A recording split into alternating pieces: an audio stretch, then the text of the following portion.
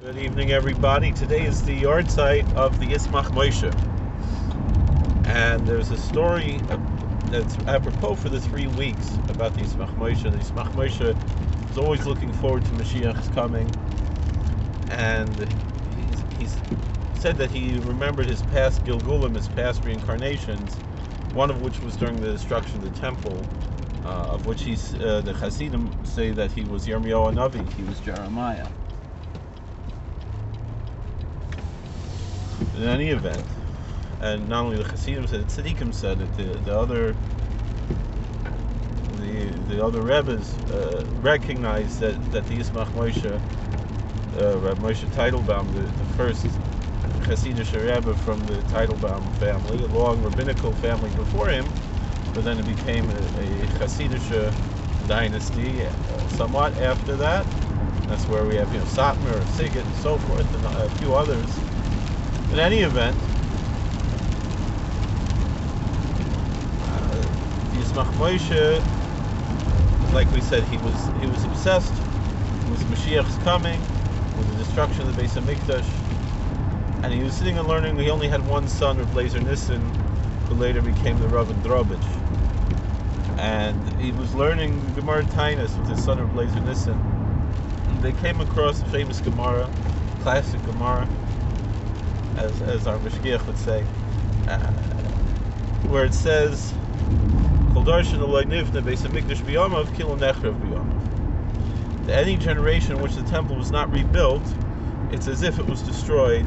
And if it was not rebuilt in its days, it's as if it was destroyed in its days. And so Yismach Moshe turned to his, his son, Holy Laser Nissen, and he said, My son, what are we going to do with this? This is such a devastating condemnation of our generation and every generation since the Beis Hamikdash was destroyed. So the Nissen said, Tate, didn't, didn't you teach me that the destruction of the Beis Hamikdash was not merely it, what, what does the Gemara say? That Hashem took out his anger al Eitzim al Avanim. Chazal say that, Medrash says, that instead of wiping out the Jewish people, God took out his anger on the building materials of the temple, the wood and the stone of the temple. And if that's the case, Chazal explained that we received an atonement for our sins from the destruction of the temple.